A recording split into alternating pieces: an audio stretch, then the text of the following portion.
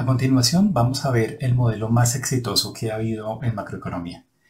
No necesariamente es el mejor modelo ni el que explique más, fue simplemente el que ganó más aceptación entre los economistas en el siglo XX, pero incluso hoy en día en el siglo XXI está detrás de muchos de los análisis que se hacen en política. Es el modelo de John Higgs de la ISLM, que también se conoce como síntesis neoclásica. Higgs había estudiado en la London School of Economics y cuando sale la teoría general, él dice, oigan, es interesante porque la teoría general dice que es una teoría general, pero yo creo que no. Yo creo que lo que tiene Keynes es una teoría, la teoría de los clásicos es otra, pero yo sí puedo hacer una teoría general que involucre a las otras dos como casos particulares. Ese va a ser su objetivo. Y va a tener un objetivo de política que es poder ver claramente cuáles son los efectos de las diferentes posibles políticas según esos casos particulares del modelo. Él está influenciado por el equilibrio general. Y por lo tanto, lo que hace es decir, yo tengo tres mercados. El mercado de dinero, el mercado de bienes y el mercado de bonos. Por lo tanto, lo que necesito es establecer el equilibrio en esos mercados. Pero yo no necesito establecer el equilibrio en los tres mercados. Por ley de Van Ras, yo sé que basta con tener equilibrio en n-1 mercados para que se garantice el equilibrio en el mercado restante. Por lo tanto, solo necesito las ecuaciones de equilibrio correspondientes a dos de los tres mercados y lo va a hacer para el mercado de bienes y para el mercado de dinero. ¿Cómo va a hacer eso? Tiene dos mercados. Las incógnitas van a ser también dos. Van a ser el nivel de ingreso y la tasa de interés. Y para cada mercado, la condición de equilibrio me va a dar una curva. La condición de equilibrio en el mercado de bienes va a ser la curva IS, la del mercado de dinero va a ser la curva LM, y la intersección de esas curvas va a ser lo que me determine el punto de equilibrio de la economía. Entonces, miremos cómo obtiene esos equilibrios. La IS representa las combinaciones de nivel de ingreso y tasa de interés que son compatibles con equilibrio en el mercado de bienes. Si tenemos equilibrio en el mercado de bienes, significa que la oferta de bienes es igual a la demanda de bienes.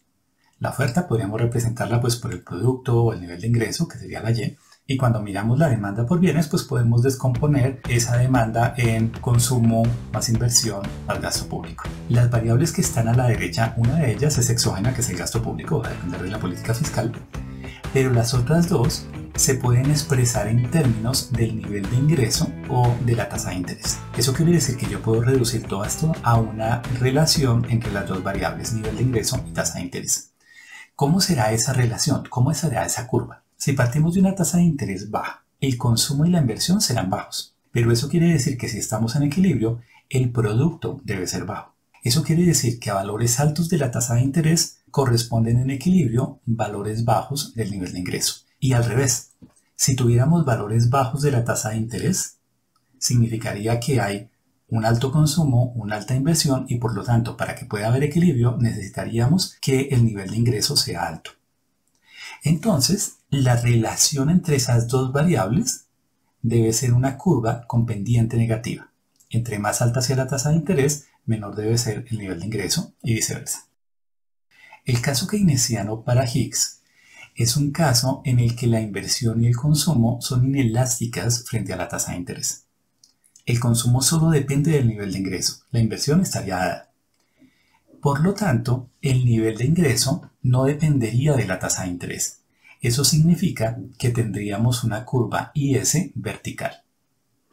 Entonces, en general, en el modelo ISLM, la curva IS tendría pendiente negativa, pero en un caso extremo, en el caso keynesiano, esa curva podría ser vertical. Imagínense que yo hago una política fiscal expansiva. Una política fiscal expansiva lo que haría sería desplazar la IS a la derecha y una política fiscal contractiva desplazaría la IS a la izquierda. El mercado de dinero en equilibrio representaría una condición en la que la oferta de dinero es igual a la demanda por dinero. Cuando hablemos de oferta de dinero vamos a representarla por los saldos reales, es decir, por la cantidad real de dinero. Esa la obtenemos dividiendo la cantidad de dinero que hay, la cantidad nominal, entre el nivel de precios. Y eso sería lo que estaría al lado izquierdo de la ecuación, esa es la oferta. A la derecha tendríamos la demanda por dinero. La demanda por dinero en Keynes tenía tres motivos. Los motivos transacción, precaución y especulación. Los dos primeros estaban asociados al nivel de ingreso. Entonces, entre mayor sea el nivel de ingreso, mayor será la demanda por dinero por motivos transacción y precaución. La demanda por motivo especulación depende de la tasa de interés. En Keynes, la tasa de interés era una variable convencional. Eso quiere decir que hay un valor que todo el mundo cree que es el valor normal de la tasa de interés. Si la tasa de interés está por encima, entonces la gente piensa que la tasa de interés puede bajar. Y si la tasa de interés está más bajita, la tasa de interés subiría. Si hay un valor convencional, eso quiere decir que cuando la tasa de interés esté bajita, la gente dice va a subir, por lo tanto yo quiero mantener dinero ahorita, no prestarlo porque la tasa de interés está baja, más bien lo presto cuando suba, entonces yo voy a mantener más dinero. Y si la tasa de interés está muy alta, yo no quiero tener dinero porque yo espero que la tasa de interés baje, entonces lo mejor que puedo hacer es prestar dinero ya. Entonces, la cantidad demandada por motivo de especulación va a depender de manera inversa con la tasa de interés. Lo que nos interesa para la curva LM es el equilibrio en el mercado de dinero. Entonces, vamos a partir de una cantidad dada de saldos reales. Suponemos que la oferta de dinero está dada. Si la oferta de dinero está dada y estamos en equilibrio, eso significa que la cantidad demandada por motivo transacción y precaución, que es la que depende del nivel de ingreso, más la cantidad demandada de dinero por motivo de especulación, que es la que depende de la tasa de interés, esa suma va a ser exactamente igual a la oferta de dinero, a los ahorros reales. Si el nivel de ingreso fuera bajo, eso significaría que la cantidad demandada por motivos transacción y precaución sería baja. Tendríamos una baja demanda de dinero por esos motivos. Para que podamos tener equilibrio en el mercado de dinero, necesitaríamos que la cantidad que se demanda por motivo de especulación fuera alta. Pero ¿cómo haríamos para que hubiera una alta demanda por motivo de especulación? Para eso sería necesario que hubiera una tasa de interés baja. En equilibrio en el mercado de dinero, el nivel de ingreso bajo es compatible con valores bajos de la tasa de interés. Y viceversa. Supongamos que el nivel de ingreso fuera alto. Si el nivel de ingreso fuera alto, significaría que la cantidad demandada por motivo de transacción y precaución sería alta. Necesitaríamos, para mantener el equilibrio, que la cantidad de dinero demandada por motivo de especulación fuera bajita. ¿Cómo se logra que la cantidad demandada por motivo de especulación sea baja? Con una tasa de interés alta.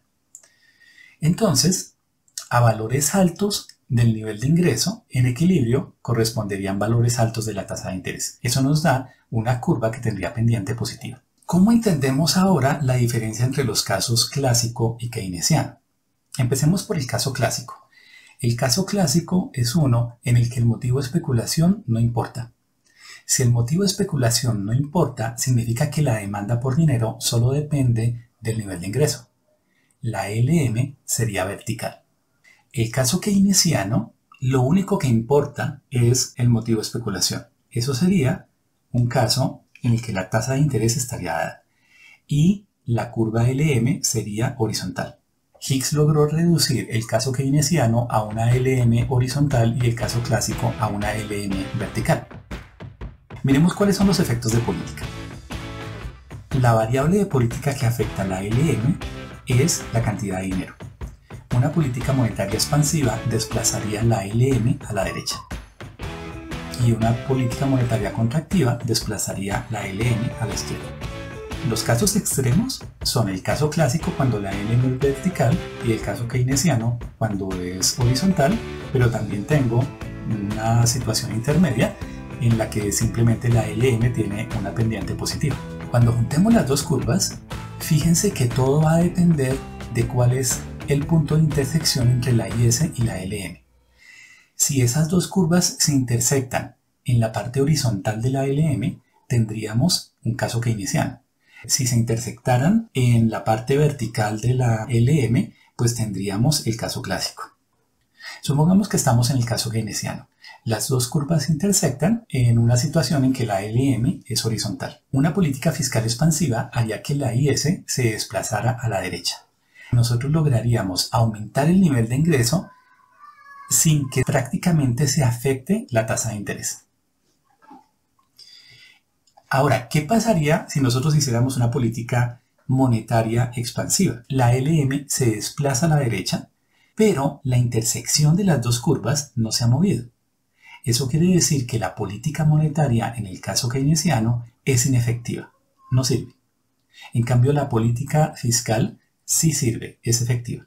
Ahora, si estuviéramos en el caso clásico y tratáramos de hacer una política fiscal expansiva, fíjense que la política fiscal expansiva desplazaría la IS a la derecha, pero la LM es vertical. Eso quiere decir que el punto de intersección entre las dos curvas no se va a desplazar mucho a la derecha. Vamos prácticamente a quedar con el mismo nivel de ingreso. Entonces, en el caso clásico, la política fiscal no es efectiva. En cambio, una política monetaria expansiva haría que la LM se desplazara a la derecha y al desplazarse a la derecha nosotros tendríamos un mayor nivel de ingreso sin afectar la tasa de interés o incluso bajándola un poquito. Por lo tanto, en el caso clásico, la política monetaria es efectiva, pero la política fiscal no. Y fíjense que perfectamente alguien podría decir, el caso clásico y el caso keynesiano son situaciones extremas. En una situación normal estaríamos en un caso intermedio que puede estar un poquito más cerca de lo que dicen los keynesianos o de lo que dicen los clásicos. Como les decía, a los keynesianos, como defendían la política fiscal, les decían fiscalistas. A la gente que defendía el caso clásico, como defendía la política monetaria, los llamaban monetaristas. Por esa razón, las discusiones posteriores se plantearon en términos de keynesianos y monetaristas. Pero lo importante es esto, el modelo ISLM lograba representar la discusión entre los dos bandos teóricos, keynesianos y monetaristas, dentro de un diagrama muy sencillo. Y más aún, lograba mostrar el efecto de las políticas de manera elemental en el diagrama. Eso hizo que la ISLM fuera tremendamente exitosa y que todos, casi todos los economistas empezaran a pensar en términos de ese modelo. Pero también tuvo un costo porque al representar la discusión teórica y la discusión de política económica de una manera tan simple, hacía que la gente empezara a creer que hacer política económica era muy sencillo. Más adelante, la síntesis neoclásica sufrió una estrellada contra el mundo porque el mundo no es tan sencillo, el mundo es más complejo. Pero el ISLM fue el marco en el que se dieron las discusiones de teoría y política macroeconómica durante todo el siglo XX y es el modelo que está detrás de muchos de los análisis que todavía se hacen cuando se trata de pensar en política económica. Pero hay otro problema. Esta no era una buena representación de la teoría keynesiana. Al simplificar en exceso, este modelo estaba también introduciendo nuevos peligros.